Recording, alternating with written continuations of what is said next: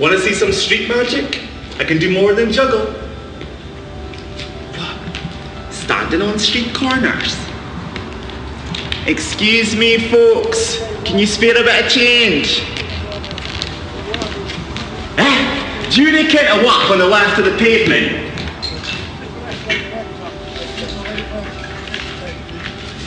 It's like, come on, you can do it. Turn that frown upside down. So what are you doing the rest of the day? I'll do my ironing and then if the sun goes away, I'll wash my windows. Only do it four times a year. That's like a country western quine, isn't it? The lass will be freezing with her legs out. Hey sir, how are we how are you doing today? Can we talk to you? Eh, you've been on speed or some shit like that. Effing typical. Aye, and here's her getting a homeless man fatted up. Get him, think she's got in her purse.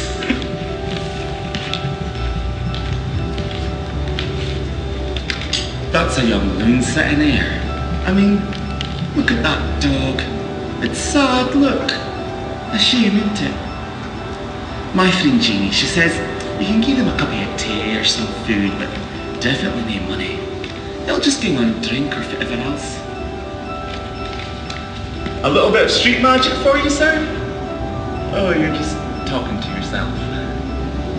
They thought you were getting the jail in, but all that fucking shit they said about you, they thought you were getting the jail. Normal? Really? Really?